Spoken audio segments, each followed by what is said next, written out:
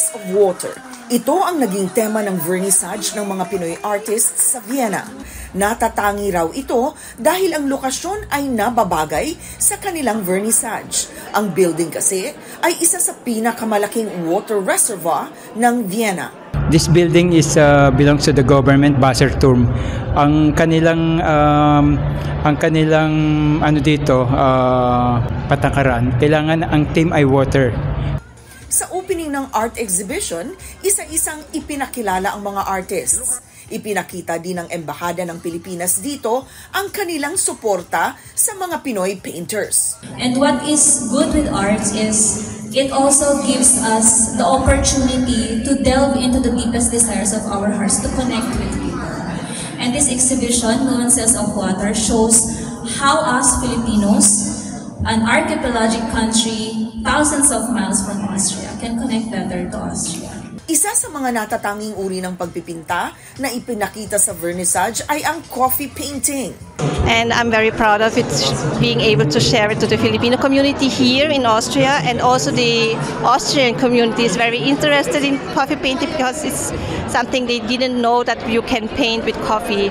But coffee was used in the older times. They have used it to generate or to make colors Lubos naman ang paghanga sa mga obra ng mga Pinoy painters ng mga dumalo sa opening ng exhibit. and I'm so mesmerized how how people can just get a brush and see this vision and and, and fulfill it and it's just it's just so inspiring to see and to be here uh, with so many uh, talents so that's why I'm admiring all of these amazing talents I like I like the paintings. There are very nice paintings that I will definitely hang on uh, on the walls of my apartment. Tatlong araw na exhibit ang handog ng apat na Filipino artist mula sa Pilipinas na sina Jericho Magnaye, Nino Chris Odosis, Ian Maigan at Joseph Albao. Pinamagatang Biyahe for Philippinism, What Makes Art Filipino. Layo nitong ipakita sa mga Europeans ang kultura ng mga Pinoy. kami yung pinaka-third batch ng mga artist na pinapadala sa iba't ibang bansa para i-promote yung uh, kultura ng Pilipino sa pamamagitan ng arts. Ipinagmalaki naman ng Philippine Ambassador to Belgium ang apat na artist, pati na rin ang lahat ng Filipino artist sa Belgium na nakikipagsabayan sa galing ng mga Europeans. Uh, it's really an opportunity for us, uh, for the community to uh, project, highlight, uh, and, and, uh, and share no? um, aspects of Philippine culture which are very much apparent in our, uh, you know, in the works of uh, the artists today.